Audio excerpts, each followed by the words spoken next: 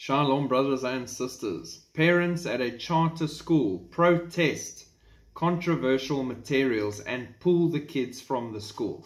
Now, let me just say, well done. That's what parents should be doing everywhere.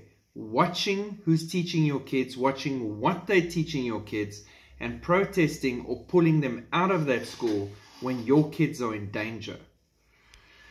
Parents at a Ham Lake Charter School protested the school's partnership with Amaze Works, which recommends books on gender identity for kindergarteners. Elementary school should be about learning academics, not politically controversial topics, especially without a parent's knowledge or consent. These topics cross religious and faith-based boundaries for many of us. Lindsay McCusick, a parent of students at Da Vinci Academy.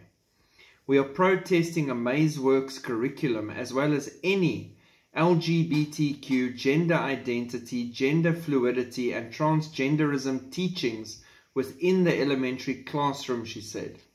Other books that have been approved speak to topics such as feminism and divorce in a way that would not align with my family's morals and values, McCusick said, alleging that the school had not properly informed the parents about the use of Amaze Works. Again, well done to these parents. And let this be an example to everyone that has children. Watch where you take your kids, watch what they're teaching, and protect your children. The enemy is seeking to devour all of the innocents while he can, and his time is running out fast. God bless. Keep looking up. Shalom.